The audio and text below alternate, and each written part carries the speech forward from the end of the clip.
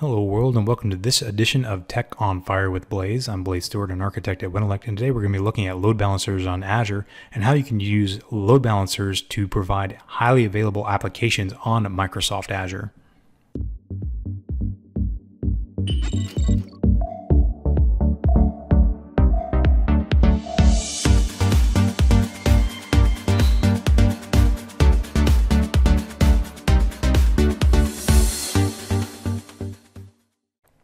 Load balancers in Azure behave much the same way their on-premise counterparts do, in that they provide a load balancing configuration for highly available applications. So with Azure, you might end up with something that looks like this, where you have the internet that's represented by the cloud and then an Azure VNet. And then you carve that VNet up into subnets. Now the subnets typically correspond to some layer in the application. So a multi-tiered application might have two or three different subnets. And each one of these subnets is going to contain a component of the actual application that you're trying to serve up. So in the case of this two-tiered application, my front end subnet would naturally contain my web servers. So in this case, I have two uh, highly available web servers or two web servers that are configured in a highly available uh, scenario here. And basically what they're doing is serving up the same content. So if a request comes into web server one, it's going to serve up the same content as if the request was going to web server two in the event that one of these web servers goes down, I can route all the traffic to a single web server and my application continues to function even though one of the servers might go offline. And to make this happen, I need a load balancer to handle those requests and then monitor those web servers in front of them to make sure they're available, and then uh, route the incoming request appropriately to those front end web servers. Similarly, in the back end, I would have something that looks like this where I have a database cluster. A database cluster typically will have uh, multiple nodes as a part of it. In this case, I have three, which in many database clustering technologies is the minimum amount for a quorum uh, for a highly available configuration. And much like the front end web servers, they need some way to route the incoming request so that any one of those three database servers can handle that request. So here I have yet another load balancer. And the requests coming in from the web server are sent to that load balancer, which has an internal IP address, and then it can then forward that request onto the back end database servers. It can pick server one, two, or three, and any one of those will be able to handle it. And much like that front end load balancer, uh, the back end load balancer is monitoring those servers to make sure that they're alive and that they're healthy. And so that when one of those goes down, it won't route requests to it and it can send it to the actual operational servers so that the requests end up uh, getting handled by the server and then sent back to the web server back to the ultimately to the browser that's making the request. So this is a very uh, minimal setup for what might be considered a highly available application on Azure. And I'm off, I'm leaving out a lot of the details here, but this basic architecture is one that you will find in many applications on uh, highly available applications using infrastructure as a service on Azure and other clouds like Azure. You can see here that I have in the Azure portal a resource group called HA WordPress. And what I've done is I've configured WordPress in an HA setup on Azure. Now to do this, I basically created something that looks a lot like the diagram we just saw, wherein we had three database backends and then two web front ends. Now what I did here for these databases is I created a Galera cluster, which is a clustering technology for MariaDB or MySQL database da databases where each one of these can function as an independent database node. And then if writes come in on one, it replicates those to the other nodes so that they have consistency between all the nodes. And then any one of these database nodes can then handle reads as well. And um, to make this work with Galera, you have all those uh, configured in HA configuration, then you need something in the front end like a, a, load balancer to route requests to any one of those three nodes. Similarly, on the front end, I have two web servers, and each one of these are running the WordPress app on Apache. And between these, I, I put a file share, which has the WordPress uh, installed on it, and that's where all the content lives, like all the the images and all the PHP files and so on. But the actual web servers are running Apache, and they both read from that common share. And then there's some configuration you do to make it highly available on WordPress. And once you have that all set up, you can have WordPress run as highly available on multiple web servers, and then it hit a database backend that's highly available uh, because of Galera. Now, each one of these does require a load balancer, so uh, I have two load balancers in my configuration here. Let's take a look at the, the, the database load balancer here.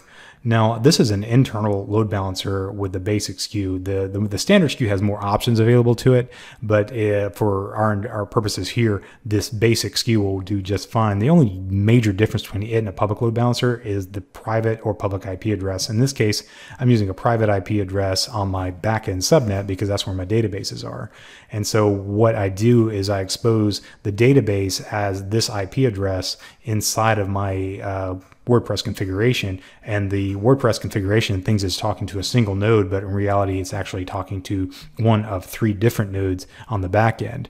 And once I have that configured uh, in my WordPress app and I have this load balancer in front of it, then I, I have my highly available uh, WordPress instance against a highly available uh, database.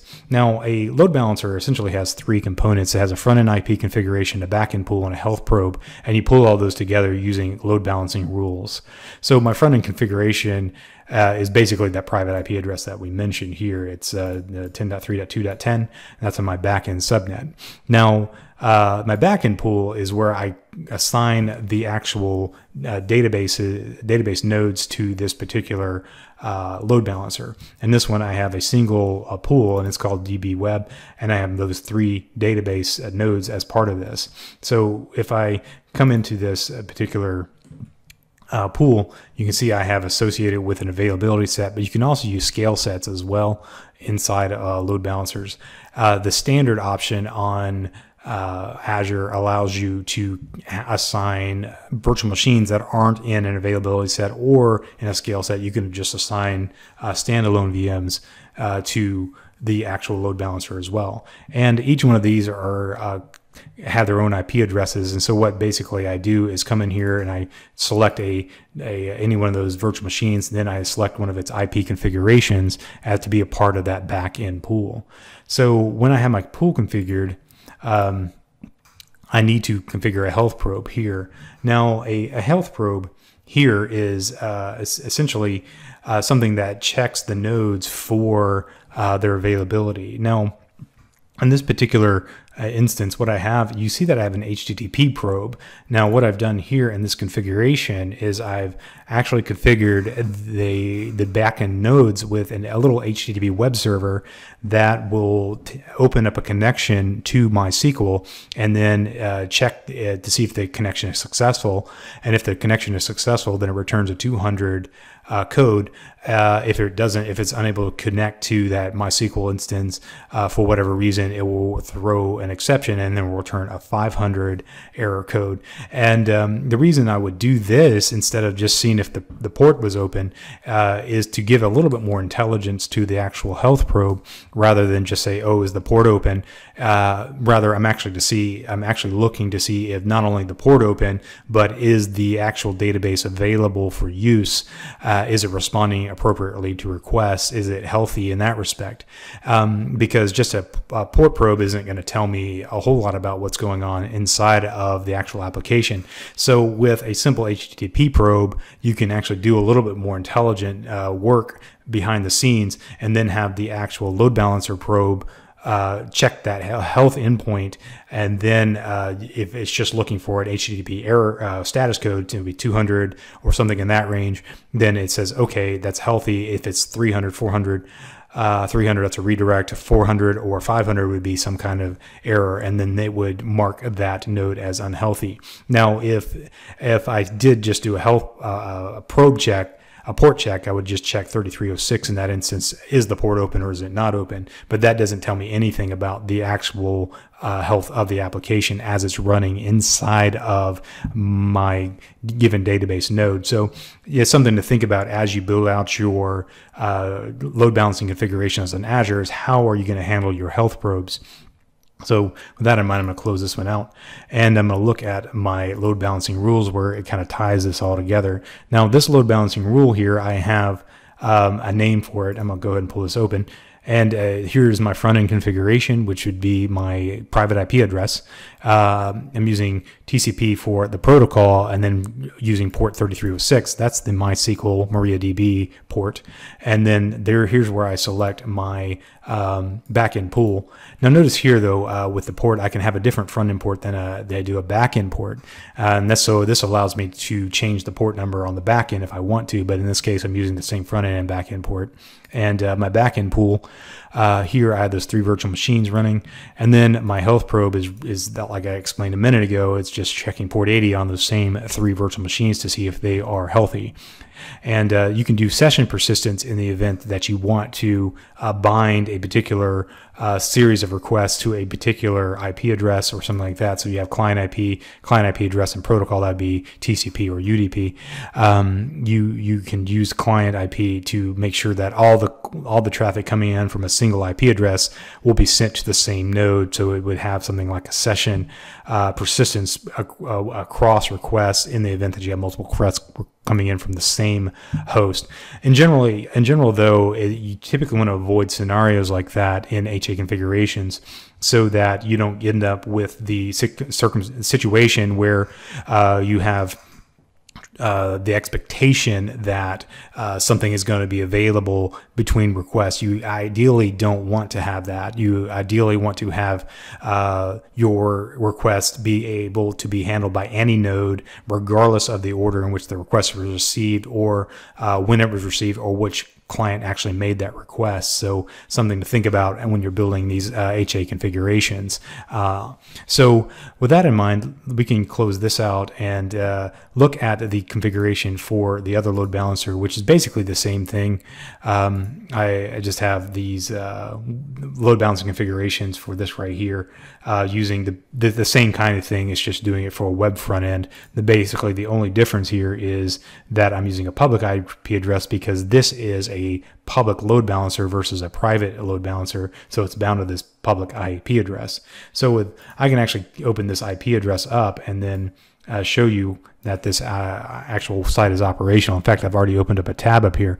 So this is my site running against that HA configuration using those load balancers that we just saw. So this this request comes into that front end IP address, and then it's handled uh, by one of those web servers, and then it makes web requests or sorry database calls back to one of those three databases. I have no idea which uh, database or which web server actually handled it. I don't really need to. In fact, I don't really care. I don't. That's in fact that's ideally the way that you want to build out your HA configurations in such a way that you really don't want to know or care to know which node is actually handling your request. It's just knowing that your requests are being handled appropriately by the backend resources that you have defined.